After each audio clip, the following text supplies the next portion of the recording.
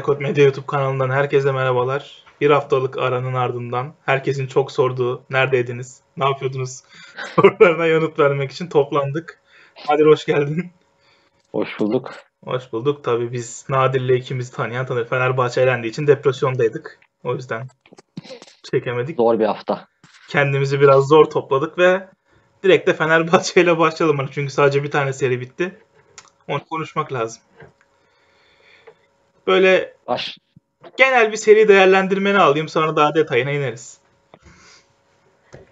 zaten seri öncesinde de konuşmuştuk. 2-0 eğer Veseli olmadan 2-0 geri düşülürse geri dönüşün pek kolay olmayacağından 2-0 geri düşüldü. Geri dönüş olmadı. Yani kolay değil hiç olmadı. İşte son maçta hakem hatası Fenerbahçe'nin eee, savunma tercihleri derken elden giden bir seri. Yani ilk iki maç zaten Fenerbahçe'nin direnmesi bile mucizeyken ya 3 çeyrek çok iyi basketbol oynadı Fenerbahçe. Oyun içinde kaldı. E, son periyotta e, oyuncu kalitesiyle ve rotasyonun daha geniş olmasıyla CSK maçları koparmayı başardı ki ilk iki maçta özellikle hem Antonov'dan hem Ulkov'dan da ekstra 3 sayı katkıları aldılar. E, alçak posttan Clyburn hücumları çok iyi yönlendirdi Fenerbahçe. içeri gömüldüğü için e, Clyburn'da orayı kullanıp zayıf taraftan e, şütörlere pozisyon hazırlamayı bildi. Çok yüksek yüzdeli hücum etti CSK. İlk maç bu şekilde geçirdikten sonra Veseli ile birlikte Fenerbahçe e, bir reaksiyon vermesini bekliyorduk ki ilk yarının e, ilk bölümünde de Fenerbahçe maçı müthiş başladı zaten. Hem hücumda hem savunmada Guduric oyunun çok içindeydi. Veseli orta mesafelerle etkili başladı ama işte e, serinin genelinde Fenerbahçe'nin en büyük problemi olan alan savunması. İlk yarının sonunda Fenerbahçe'nin e, oyundan kopmasına neden oldu. Zaten oyun Fener'in elinden kopmaya başlamıştı. Farkı azaltarak geldi CSK ki 3. çeyreğin başında da oyun yine CSK'nın kontrolündeydi. Sonra zaten Veseli'ye çalınan hücum faul, e, savunma faulü sonrasında e, işte teknik faul Veseli'nin atılması Fenerbahçe'ye tamamen direnci kırıldı. Veseli'siz zaten oynamakta zorlanan bir Fenerbahçe psikolojik olarak da kırılınca maçı çok rahat bitirdi CSK. Ya Fenerbahçe'nin playoff'ta olmasını bile beklemiyorduk hani açıkçası 3 ay öncesine baktığımızda e, Guduric geldiğinde bile e, gelecek sezona yapılan bir yatırım olarak görülürken Kokoşkov'un rolleri doğru belirlemesiyle birlikte Fenerbahçe e, playoff'a geldik. Final Four şansı da olabilirdi eğer e, Veseli sakatlanmasaydı ama yani yine de kabul edilebilecek gayet iyi bir sezondu Fenerbahçe için. Yani evet ben açıkçası 3. maça iyi Fenerbahçe aşırı iyi başlayınca şey demiştim Euroleague maçlarında aşırı iyi başlamak o kadar da iyi olmuyor. Yani rakipten çok bariz güçlü değilsen rakibi uyutup uyutup bir anda vurmak çok daha mantıklı oluyor. Yani öyle daha süre azalınca vurmak daha şey oluyor. Bence ilk iki maç Fenerbahçe bu arada çok iyi oynadı. İşte ilk maç Dekolo, ikinci maç Guduric'le ayakta kaldılar ki ikinci maçta Fenerbahçe'nin oynadığı üçüncü çeyrek hani Kenan Sipahi'nin bir 4'te 0'ı var. Ona da şimdi Kenan Sipahi çok basketbolcu değil. Eyvallah ama sahaya getirdiği enerji yüzünden çok da bir şey diyemiyorsun. Hani o geri dönüş de aslında Kenan Sipahi'nin guard baskısı odaklı bir geri dönüştü başlangıcında. Yani işte sürekli denediler bir şeyler yapmayı. Tarık Biberovic'le şey yaptılar ama ilk iki maçta zaten mesele yokken rebound alamadılar. Sürekli hücum reboundundan sayı üretti CSK. ikinci şanslar sürekli ve burada şey gördük işte geçen hafta iki hafta önce konuşurken Daniel Hackett buraları oynamayı çok iyi bilir. Can yakar. Demiştik 3 maçın 3'ünde de öyle güzel müthiş oynadı ki abi. Fenerbahçe'nin tek cevap veremedi adam dedi. Hani Şengelya ve Clyburn görünüşte liderler ama onları bir şekilde tutmayı başarsa bile Hackett'ı hiçbir şekilde durduramadı Fenerbahçe. Yani inanın üzerine inanılmaz bir baskılar falan yaptılar. Orada bile hep doğru pası buldu, doğru şut attı yani ki Hackett kariyeri boyunca şut problemleriyle ünlüdür.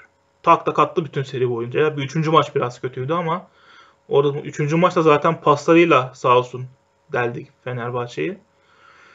Ama işte dediğin gibi bence Fenerbahçe'nin e, bu kadar eksik de varken CSK'ya elenmesi normal. Biz ben şeyleri de bilmiyordum hani Veseli'nin eksik olduğunu biliyorduk da takımda da çok az sağlıklı insan varmış zaten.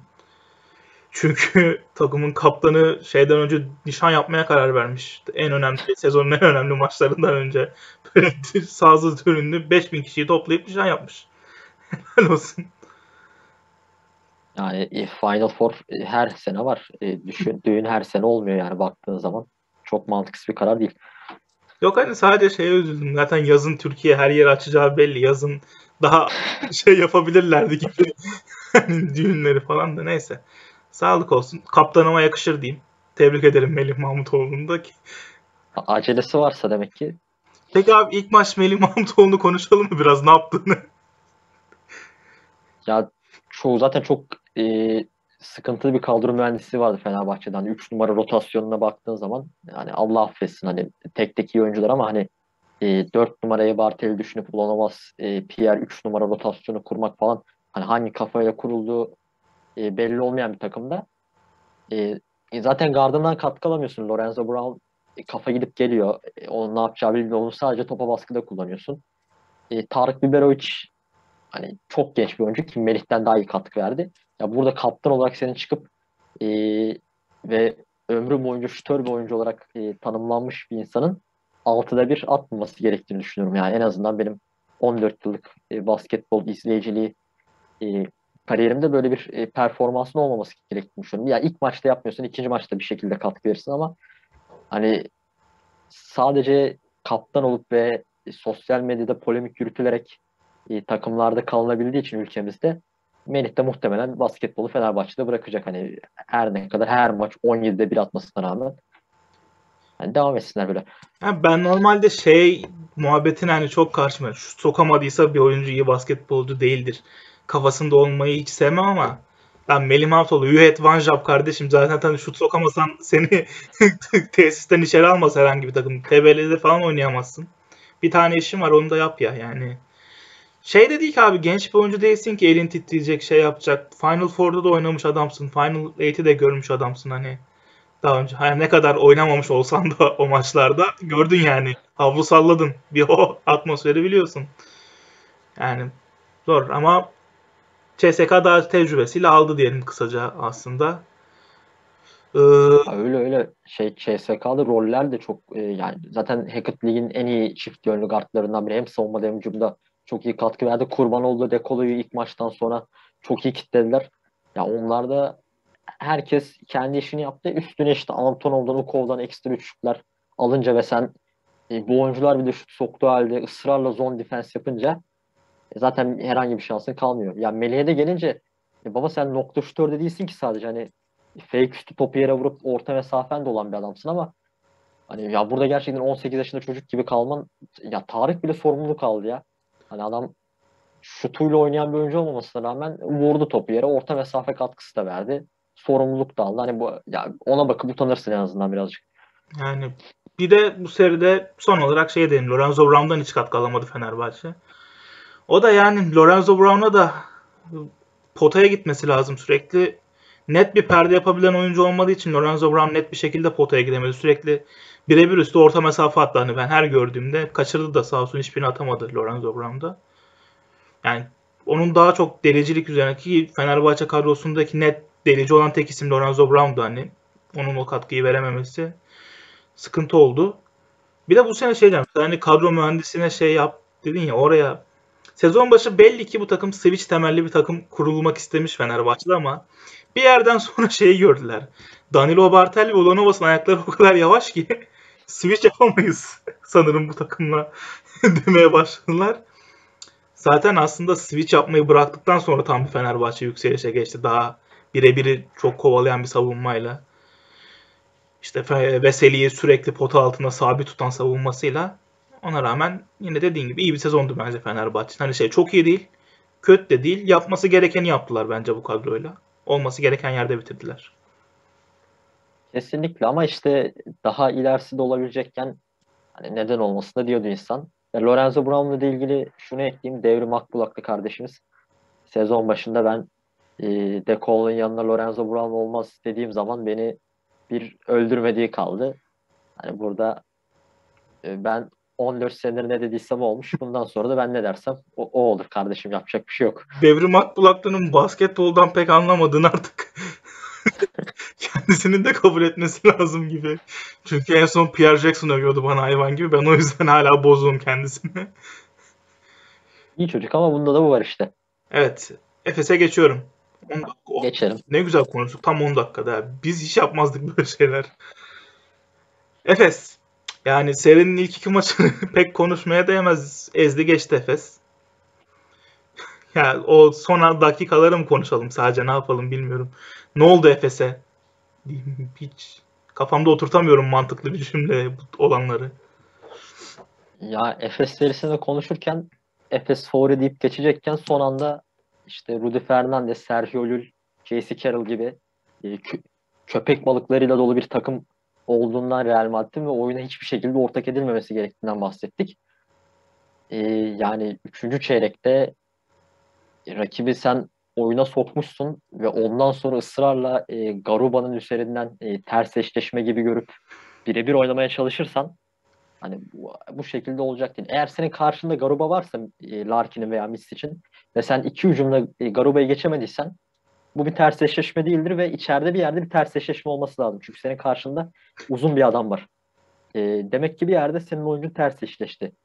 Topu oraya indirse ki bir pozisyonda indirdi özellikle son maçta Chris Singleton'dan. E, Singleton sırtı dönük oynamaya çalıştı. Yardım gelince dışarı çıkarması yerine pozisyon zorla top kaybı yaptı. Aslında dışarı çıkarsa Mitsic yine boşlukta bulacaktı. Birinde de şey E, onu ya- gitti. Faul aldı çizgiye gitti.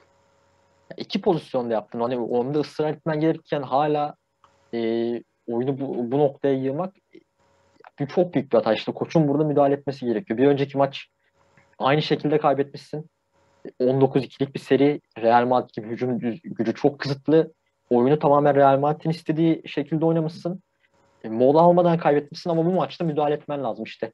Hani bu noktalarda elit koçların ortaya çıkması lazım. Ergin Ataman çok iyi bir koç. Ya zaten hücum konusunda ne kadar iyi bir koç olduğunu hep görüyorduk ama underdog kalıyordu. Bu sezonla birlikte Efes'te de e, kendini tekrar kanıtladı ama ya bu coaching konusunda artık bu hataları yapmaması lazım. Hani sezonda 2-3 tane böyle çok bariz hata yapan bir koç Ergin Ataman. Hani bunu kabullenmek lazım ama işte bu noktada Real Madrid'e karşı çok kötü bir kadroya karşı ama e, Sergio Llull, Rudy Fernandez'i, J.C. Carroll oyun içine sokacak şekilde hata yaparsan ya Real Madrid affetmez, affetmedi.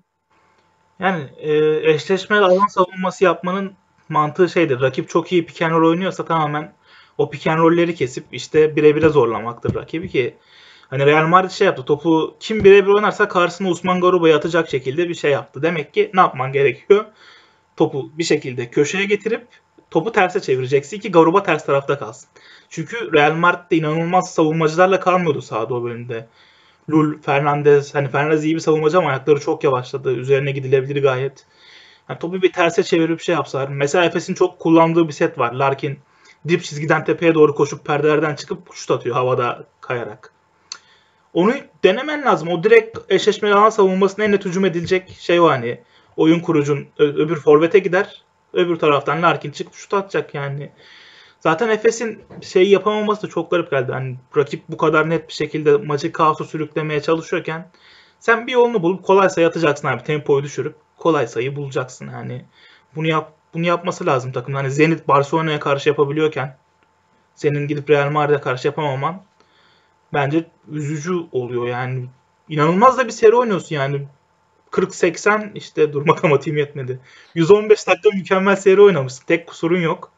5 dakikada seriyi boka sardı yani tamamen bir anda ki dördüncü maç yine ona 17-0 mı başladı? Oradan sonra Evet. 17-0'dan dönüp ilk yarıyı 10 sayıyla falan önde bitirdi Efes yine gelip. Hani o derece güçlü bir hücum takımından bahsediyoruz. Böyle tak tak bir anda delebilen bir takım. Her iki maçında son 5 dakikası hiçbir şey üretemedi. Yani garip bir de işte bunu maçtan önce de çalışman lazım. Hani Usman Garuba'nın NBA prospekti olmasının sebebi inanılmaz ofansif yetenekleri olması değil. 5 pozisyonu birden savunabildiği için Osman Garuba inanılmaz yukarılardan seçilmesi beklenen bir isim. E, Misic'le özellikle hani Larkin yorgun olduğu için belki geçemedi. Normalde onu geçebilir ama Misic gibi ayakları yavaş bir ismin hiç şans yok Garuba karşısında birebir oynamakla. Ki yani ilk maç e, Efes çok fark attığı için görülmedi de orada da Garuba Misic'i zaten öldürmüştü yani maçın bir bölümünde. Ya bunu görmesi lazımdı Efes'in ki ben ama yine de şeydir bu tokat iyidir. Hani Efes ama 5. maçı kazanırsa bu tokat iyidir ama kaybederse o kadar iyi olmaz. Ligi de kaybeder bu buradan. Evet. Ama şeyden eminim şu an. Böyle tokatların sonunda 5. maçı Efes kazanırsa şampiyon da Efes olur. O kaf genelde böyle olmuştur bu şeyler. Hani e, Fenerbahçe'nin şampiyon olduğu sene normal sezonda böyle inanılmaz fark yediği Baskonya maçı mı ne vardı? Baskonya ya da Maccabi de olabilir. Ya Baskonya'ydı ya Maccabi'ydi. İşte o maçı bilen bir- o maçtan sonra Fenerbahçe inanılmaz ciddi alıp inanılmaz top oynamaya başlamıştı ki hani Real Madrid'i 3-0 geçmişti ki o Real Madrid bu Real Madrid değil. Bambaşka bir Real Madrid'den bahsediyor. İnanılmaz güçlü bir takımdı o. İşte Doncic'in MVP olmadan önceki senesiydi galiba. Hani Evet bir sene önce. Aynen daha güçlü bir Real Madrid şimdikinden.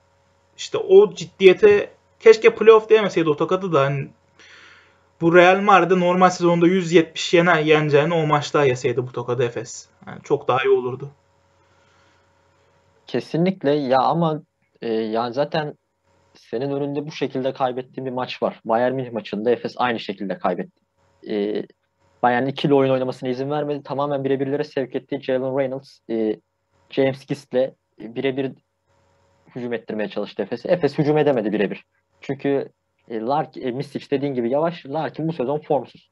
Yapamıyor. Yani Can istediği zaman bir iki pozisyon yapıyor ama kritik anlarda yapamıyor. Yani senin oyunu bir şekilde değiştirmen lazım. Bu kadar hücum gücü yüksek bir takımın ya maç sonlarında Rodrik Boboa'yı hiç kullanmıyorsun. Hani fa- 19 fark eritmiş rakip Rodrik Boboa fark eridikten, oyun kaosa sürüklendikten sonra giriyor.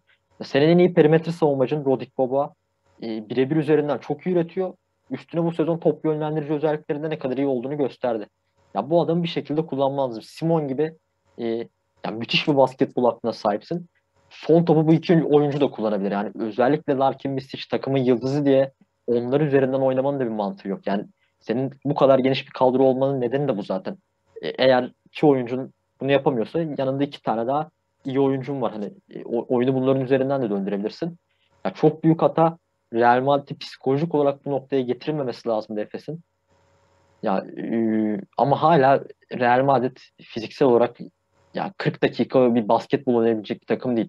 Maçı erkenden bitirip ikinci çeyrekte 20'ye yatırıp 30 30'a yatırıp kontrolü hiçbir şekilde elinden kaybetmeyip oyunu tamamen kendin domine ettiğin zaman zaten kazanabilirsin. Bunu yapabilirsin de ama bir anlık e, şut ritminin kaybolması son maçta e, tamam bir tamamen bir ka- kabus senaryo- senaryosuna döndürebilir Efes için. Ya hiç iyi olmadı 2-2'ye getirmesi. Hani biz e, bir maç alır diyorduk. Bir maç alacağını da düşünüyordum ama bir maçı o şekilde aldıktan sonra ikinci maçı da yine 19-2'lik seriyle alması Real Madrid'in bu kadroda. Yani Lasso'ya da saygı duymak lazım. Yapabileceği bütün planları yapmış. Oyunu kendi istediği gibi yönetti. Bakalım ne olacak. Evet yani ben sadece bir de şeyde çok hani Simon iki maçında son 5 dakikasında bir tane bile top kullanmadı ki Efes 3 senedir her krize girdiğinde Simon'la çıkıyor. Yani bu Ergen Ataman geldiğinden beri bütün krizlerden Simon çıkarttı takımı. E zaten şey de belli. Yakın giden büyük bir maçı Larkin ya da Misic hani Final Four'daki o kazandıkları Fenerbahçe maçları hiçbir büyük maç kazanmış oyuncular değiller. Bir işte Barcelona ile 5. maç var Final 8'te. Bir de Fenerbahçe Final Four. Başka iki tane büyük maç kazanabilmiş şey var kariyerinde. iki liderin. Yani Simon'a gitmesi lazımdı bence biraz. Ki buraları oynamayı en çok bilen isim. Her ne kadar çok büyük bir Final Four deneyimine sahip olmasa da tecrübedir. Yani büyük maç çok fazla büyük maç oynamış bir isim. Bence Simon'u daha çok denemesi lazımdı bu bölümlerde diyeyim. İstersen Efes'i de kapatalım böylece. Kapatalım. Yeteri kadar konuştuk burayı da. Ee, şimdi Zenit Barcelona. Bir intikam. Xavi Pascual ve Kevin Pangos intikam senaryosunu yazmışlar. Seri 5. maça gitti. Kısa bir değerlendirmeni alayım. kimsenin hani, oyunun bu noktaya geleceğini tahmin ettiğini düşünmüyorum. Hani 3-0 belki 3-1 Ee, yine Pangos Pascual intikamını Rusya'da bir şekilde alacağını bekliyorduk belki yakın geçen bir maçta. Ama oyunu tamamen kendi istediği şekilde dikte etmesi Xavi Pascual'in Pangos'un yarı sahada inanılmaz üretken oynaması e, Tarık Bilek'in boyalı alandaki dominasyonu bugün kaç tane hücum ribandı çekti e, sayamadım yani tamamen parçaladı Barcelona'yı. Barcelona gibi hücum e, potansiyeli arşa çıkması gereken bir takım. Brandon Davis iki tane iyi maç oynadı diye şu an iki tane galibiyeti var. Zaten e, şey dördüncü maç Brandon Davis'in kötü oynadığı tek maç. Ortak bile olamadı maça Barcelona. Yani sezon boyunca hep Barcelona'nın e, yarı sahada ne kadar zorlandığını, e, oyunun ne kadar akmadığını, Corey Higgins'e e, rahatlık verilmediğini, e, şütörlerin Abnes ve Kuric, e, Kuric'le daha tempolu bir basketbol oynayacakken oynanmadığını konuşmuştuk. Yani ya gerçekten Yasikevicius'un bu şey e, kontrolcü bu şeyi e, semerleri eline almak için takımı bu şekilde sabote etmesi çok üzücü. Yani Kalates sezon başı transfer edildi. E, senin oynamak istediğin oyunu Pengos aslında onunla ne kadar iyi oynayabileceğini bu seride çok net gösterdi yani. Hani e, beni gönderdin Kalates aldığında ne oldu dercesine oynadı. Hani bu e, sahada Pengos olsa onun şut tehdidi, ikili oyun becerisiyle bambaşka bir takıma dönüşebilirdi Barcelona ama Kalates tercih e, rakip savunmaların Kalates'in aşağıdan savunması, şutörleri kitlemesi.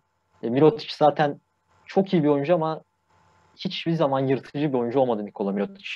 Hani bu seviyede de NBA'de de iyi bir katkı verdiği dönemler oldu. Her zaman da yetenekli bir oyuncu zaten. Ama hiç yırtıcı bir oyuncu olmadı.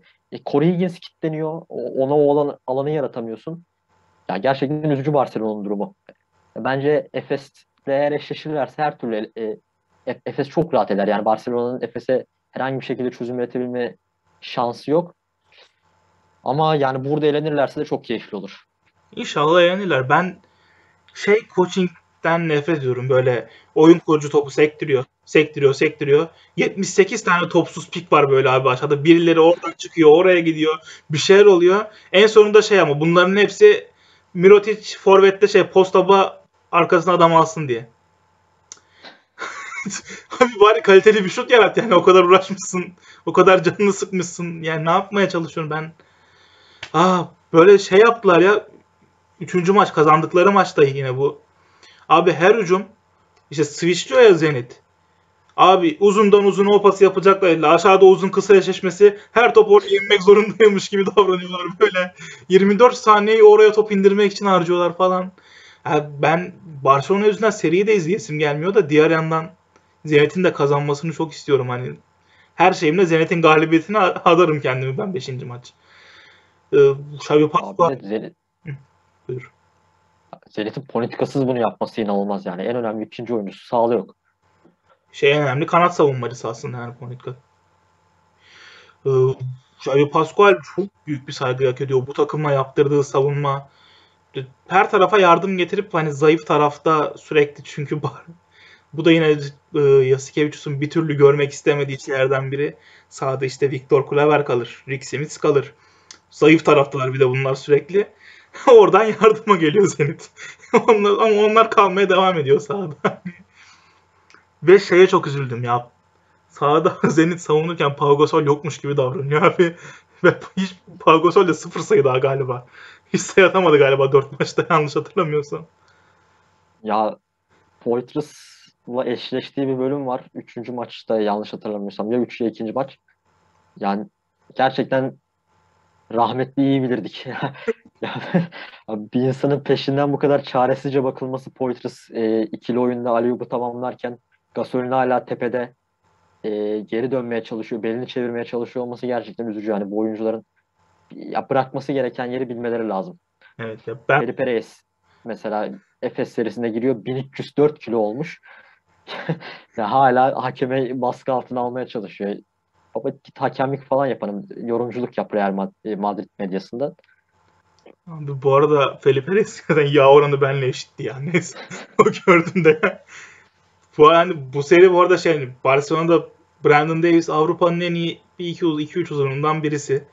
Hani bak Brandon Davis yerine böyle iyi bir hani Tarık Black Barcelona'nın pivotu olsa Barcelona elenmişti. Gerçekten şu ana kadar. Brandon Davis sayesinde ayakta kalıyorlar tamamen. Yani çok ilginç. Bu kadar hani sal abi serbest bırak şu adamları artık ya gerçekten. Gözünü seveyim artık Barcelona'ya şey yapsın. Tepede pick and roll çıkışı şut atsın herkes. Bundan daha çok sayı atar Barcelona. Topu alan pick and roll oynayıp şut atsın bak daha çok sayı atar. Eminim bundan ya. Bu oyuncuların özelliği bu zaten. Hani bu şekilde üretmek için. Yani yıllarca bu şekilde üreten oyuncuları sen sakin aman beyler post up'tan gidelim. E, şey ya tamam Obradovic'e çok saygı duyuyor olabilirsin.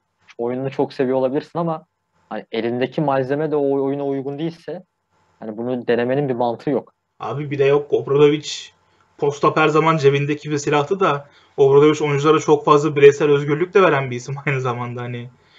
En son Fenerbahçe döneminde direkt Bogdanovic üzerinden oynanıyordu neredeyse her hücum. Bogdanovic'in bireysel yeteneğine o kadar fazla saygı duyuyordu ki. Hani sen de bunu git Corey Higgins'e yap abi. Minotic'e yap bunu. İşte illa posta oynayacak ama illa şey.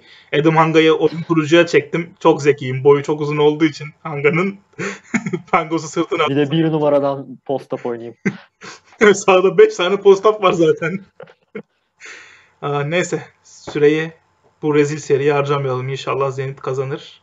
Bayern Milano çünkü daha dolu dolu bir seri oluyor aslında. Aa bu fotoğrafı ne güzel indirmişim. 1080 bir fotoğraf gördük ilk kez o bir anda. Öyle. Genel değerlendirme. Aynı şekilde devam.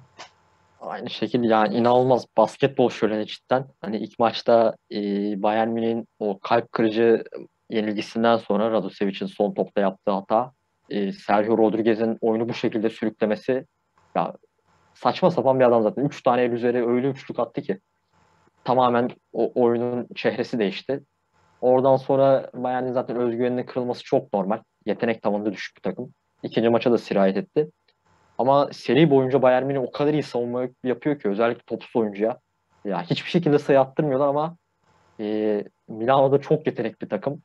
Toplu oyuncu inanılmaz üretiyor. Hani Panther, Rodriguez, e, son maç Delaney, Shavon Shields'a biraz daha özgürlük tanıdı e, bu süre üzerinde Messina. O inanılmaz üretiyor. Hani bunlara karşı koyacakken Bayern Münih'in bu sezon en önemli oyuncusu Lulic. Hani yani Lucic, Lucic nereden çıktı? Beni anladı. Şenat Lucic.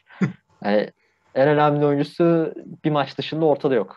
Wade Baldwin yani bütün sezonu orta mesafeli oynayan adam bir anda LeBron gibi e, step ve küçüklerle, James Harden gibi step ve küçüklerle oyunu domine etmeye çalışıyor. Bir tane üçlük isabet yok. E, Jalen Reynolds 12 tane falan boyalı alanda basit atış kaçırdı. Yani şu an takım hücumda sürükleyen ilk maçta DJC ile iki maçta şey Jajuan Johnson'dan ekstra katkı alır oyunda kalmaları nedeni. Son maç Paul Zipser 3. çeyrek hayvan gibi top oynamasa bu maçta elinden kayıp gidiyordu. Çünkü Wade Baldwin ben bir tane daha step back deneyeyim. Ulan bu sefer olur. Bir de köşeden step back deneyeyim. Ya bu arada şey, şey abi Wade Baldwin Bayern Münih'in elenmesi için elinden geleni yaptı gerçekten. Hani Panther'dan, Delaney'den bile daha çok çaba gösterdi ama hala elenmedi Bayern Münih. Yani Trinkier'e de çok saygı durmak lazım. Messi'ne de burada hani yine hatalarını şey yapmak lazım. Ya dört tane pozisyon var. E, Bolton'un çembere gittiği. Dördünden basket çıktı.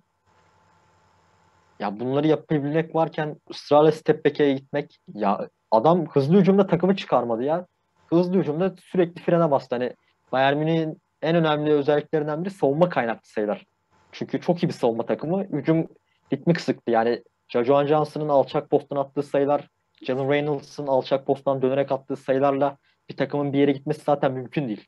Hani hızlı hücumda üreteceksin. Yarı sahada da e, Lucic'le de üretemezken e, hızlı hücumda üretmen lazım. Onu da yapamadı.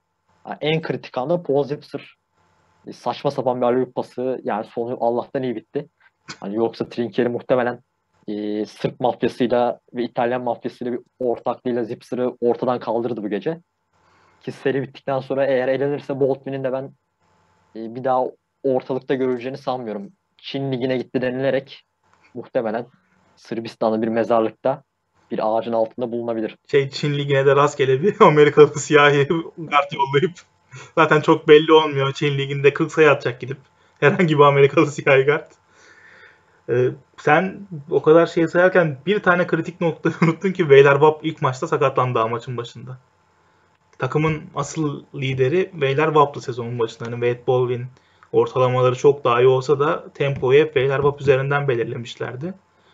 Onun yokluğu da biraz Baldwin'in saçmalamasında faktör aslında. Çok fazla şeye kaldı üzerine ki şöyle bir sıkıntı da var. Yani saf oyun kurucu olarak Veylerwab'ın yediği de Flacco Dori takımda. Oyun kurucu değil. Ya da Zammark Şişko'yu oraya çekiyor. Tam oyun kurucu değil. İşte DJ Silly ile Wade daha skorer kısalar.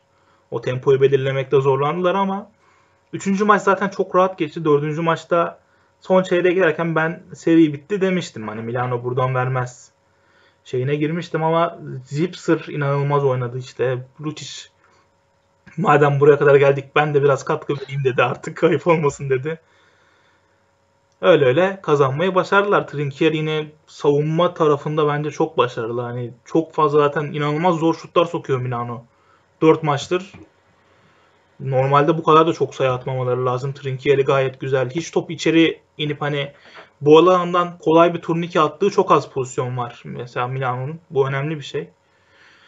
İşte dediğin gibi 5. maçta da ben şey bekliyorum. J.J. Johnson'ın son 14 yıldır yapamadığı şeylerin birikiminin bu maçta göreceğimizi falan düşünüyorum. Gerçekten çünkü iyi şeyler gösteriyor. Ben en son Darüşşafaka ile oynarken Kuban serisinde bir nefis top oynamıştı.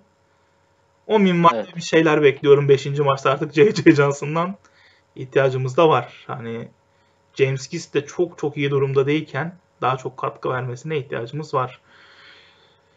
Ee, James Kiss de mesela ama e, ikinci maçta özellikle hani işe yaramasa da birinci maçta ikinci maçta da kısa savunmasında fena iş yapmadı. Hani o noktalarda katkı verebiliyor. Takipçiliğini de çok iyi kullandı. Yeterli olmadı ama yani ya, ya Lucic ya Boltwin hani oyuna bir şekilde ağzını koyması lazım. DJC'li hani bir takımın sürükleyicisi çok fazla olamaz hani bu seviyelerde artık. Ee, evet ondan da bir katkı gelebilir ama Lucic ya da Boltwin'in artık devreye girmesi lazım. Evet ya katılıyorum yani tamamen. Hani başka bir şey diyecektim ne dediğimi o kadar unuttum ki hiçbir şey demeye gerek duymuyorum. Zaten senin dediğin her şeye katılıyorum. Ee, son olarak da kısa bir Euro Cup finali yapıp bitirelim istersen. Of. Güzel. Şampiyon Monaco. Dedik bunları. Finallere MVP'si Rob Gray bile dedim ben burada. Hani olur dedik. Bunlar konuşuldu. Ya başka kim olacaktı zaten? Hani Rob Gray buraya kadar getirdi artık bu noktadan sonra da kapanışta o yapacaktı. Yaptı da. Ya Monaco iki maçta da çok iyi savunma yaptı.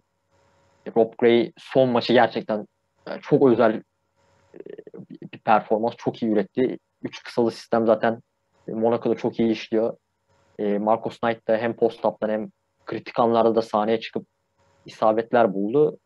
Yani e, Kuban kısaları üretmediği zaman zaten çok fazla birebir odaklı bir takım. E, işte Kenan olsun, e, öbür kel arkadaşlar Jordan Theodore'la Jamar Smith. Walters. Yani tamamen Nate Walters ki en faydalı oynayan Walters'tı. E, çembere birazcık gidip Kuba'nın hücumda krize girdiği noktalarda katkı sağladı. Yani bu şekilde olunca zaten kazanamazsınız. Jamar Smith e, son bölümde yine takımı oyunu ortak etti ama en kritik şutta zaten e, tercih olarak hep sıkıntılı bir adam oldu. Soksa da kaçırsa da. En kritik şutta birazcık e, gereksiz bir tercihde maçı da hediye etmiş oldu açıkçası. Ben John Brown'a çok üzüldüm. Yine müthiş savunma yaptı. Hani eğer Jordan Morgan sağlıklı kalsa ve John Brown e, 4 numarada e, oynayabilse 5 numaradan ziyade daha 4 numara ağırlıklı oynayabilse e, bence kazan 2-0 elenmek yerine 2-0 kazanırdı bu seride ama e, ya onun oyunu yetmedi. Kısalar eğer zaten bir şekilde bu takımı sürüklemezse John Brown yani Euro Cup finalinde de yetmesin bir zahmet. Evet yani normal olarak e, iki maçtan farkı neredeyse hiç böyle 5 sayının üzerine çıkmadı. Öyle çok yakın iki maç geçti. Ben de hani çok keyifli seriler ilk maçta ikisi de. İkinci maçta hani maç sonunda en kritik noktada işte o uzun eksikliğini çok net hissedildi. Marcos Knight çıkıp 4 kişinin üzerinden rebound aldı Rob Gray kaçırınca. Ondan sonra yine o fiziksel eksiklik. O Karavoid 5'leyip çıkınca fiziksel eksiklik daha da bir göz önüne çıktı. Zaten direkt Mitrovic'de J.J. O'Brien'a çizdi post-up setini basket faal aldı. Hani Mitrovic inanılmaz iyi bir koç bu arada gerçekten. O kadar iyi yönetti ki takımı baştan sona bütün sezon. Takdir hak ediyor. Hani son maç D-Boss'tan net bir katkı gelmediği günde yine Rob Gray'in o skorerliği çok değerli. Ben hani Matias Lezor'un da savunması hep çok şüpheydi ama bu seride net bir uzun da olmadığını görünce inanılmaz korudu çemberi de. Onun da katkısını değerli buluyorum orada. Ama zaten sonuç olarak hani kupayı kaybetse de kazan. Hele Euroligi biletini aldığı için kimsenin de çok üzgün olduğunu düşünmüyorum o tarafta da. Ee, Monaco'da Prens Albert ilk kupasını aldı. Prens olduktan sonra her tarafa para atıyor, atıyordu. Sonunda kupa almayı başarabildi. Şeyde de Prens o muydu ya ama? E, Monaco Fransa Ligi şampiyonu olduğunda futbolda. Olabilir. Bilmiyorum. Orada bir başarılar prense adanır muhabbeti var. Bütün para orada olduğu için de. Burada ama ilk basketbol kupasını aldı diyelim en azından. Monaco'da tarihin ilk uluslararası kupasını almış. Tebrik ederim. Fransa'nın da ilk Euro Cup şampiyonluğu oldu kulüpler düzeyinde. Onları da tebrik ederim. Fransa Basketbol Ligi'ne bütün maçları tek açıdan yayınlayan e, Fransa Basketbol Ligi'nde tebrik ederim. Molalarda böyle bir anda kamerayı yukarı doğru çıkartıp her şeyi tepeden çekmeleri çok iyiydi. Abi çok sinirli. Ya bazen unutuyorlar. E, moladan sonra bir 2-3 dakikada maçı şeyden e, sanki kato- en yukarıdaki kategoriden bilet almışsın gibi izliyorsun. Yani çok sinir bozucu bir lig. Parkeler çok renkli. Abi bir renk hani bir renk katalım derken işin bokunu çıkarma durumu çok fazla olmuş e, Fransa'da. Ya gerçekten tahammül edilmiyor Fransa Ligi izlemek. Abi şey vardı. Asfel'in yeni salonu değil de eski daha küçük bir salonu vardı ya. Of orası. Böyle salon zaten küçük. Tıkış tıkış hani insanlar türbündeki adam kamerayı ittiriyor böyle. Öyle bir tıkış tıkışlık var. Kamera sallanıyor. Şeyi çok net biliyorum ya. Böyle bahis aldım diye izlediğim bir maç. Kamera sallanıyor böyle olduğu yerde sürekli. Abi yani renksiz parke yok zaten. Yok e, işte koyu renk kahverengi parke üzerine yeşil böyle cırtlak bir yeşil. İşte Nantes Metropolitan falan çok saçma yani adam akıllı Sinan Erdem parkesi bu açık beyaz ya da işte biraz daha mat beyaz. Yani bunlar yeter. Çok fazla o kahverenginin tonlarına yeşilin tonlarına gerek yok. Bir de ulan birlikte nasıl bu kadar fazla yeşil kullanan takım olabilir? Onu da anlamış değilim. Her takımın kıçında başında bir yerinde bir, bir şekilde yeşil oluyor.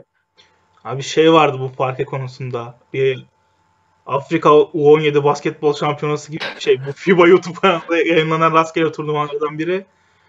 Böyle boyalan kahverengi. Boyalan dışındaki o 3 sayı çizginin içerisi yeşil. Geri kalan yerlerde masmavi böyle tamam mı? ne yapıyorsun yani orada ne pavyon mu burası anasını satayım. Cagney'in modacısı parke işine el atarsa Senegal'deydi ha turnuva bu arada olabilir.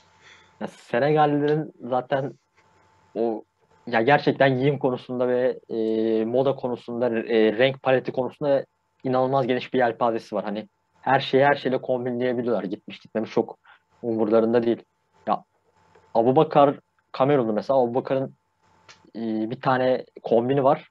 Ya üst alt eşofman gibi giymiş. Capri böyle üstünde kartallar var falan böyle gerçekten giyinmeyi biliyorlar. Tebrik ederim. Yani çok çirkin giyinseler de adamlara yakışıyor. Evet evet o renkli kişiliklerini ön plana çıkartıyor diyelim ki. Neyse kapatıyorum programı. 38 dakika güzel bir süre. Ben takdir. Dolu dolu basketbol konuştuk bugün. Gerçekten de nedense dolu dolu basketbol konuştuk. E, Playoff orada. Ya, playoff cidden son yıllarda e, keyif şeyi birazcık aşağı doğru inmeye başlamıştı e, trend olarak. Ha, bu sezon gerçekten Fenerbahçe CSK dışında çok hem dengeli hem de çok e, draması bol eşleşmeler olduğu için gerçekten keyif veriyor. Keşke 7'şer maç üzerinden oynansaydı bazı seriler. Abi ben bir de şey diyordum hani burayı konuşurken işte Efes'le Barcelona 3-0 vurur geçer. 2 dakikada falan bitiririz zaten oraları. Geri kalan yerler daha başa baş gider. Hiç öyle bir şey olmadı. O yüzden uzun uzun konuştuk biz de. Ben de Milano Bayern odaklı gideriz diye düşünüyordum playoff başlarken. Hani zaten diğerleri çok çabuk bitecek. 3-2'lik bir eşleşme olacağı için oraya yoğunlaşırız dedik de en beklemediğimiz Barcelona Zenit bile in- inanılmaz şeyler çıktı ortaya. O zaman benden bu kadar. Zaten videoyu da beğenin. Bir şeyler yapın. Hoşçakalın. Yorum yapın algoritma açısından önemli. Evet de 39. dakikada hala da bizi izleyip yoktur diye tahmin ediyorum. Umarım Belki videoyu açarken eli çarpmıştır, videoyu sona almıştır, orada denk gelmiştir gibisinden. o. Bazen ben yaşıyorum. ben de yaşıyorum böyle. Sonra şey oluyor ya böyle garip garip videoları full izlemişsin gibi gösteriyor. Aa neyse hadi hoşça O Efe Aydal falan düşüyor sürekli önüme. Hadi hoşça kalın.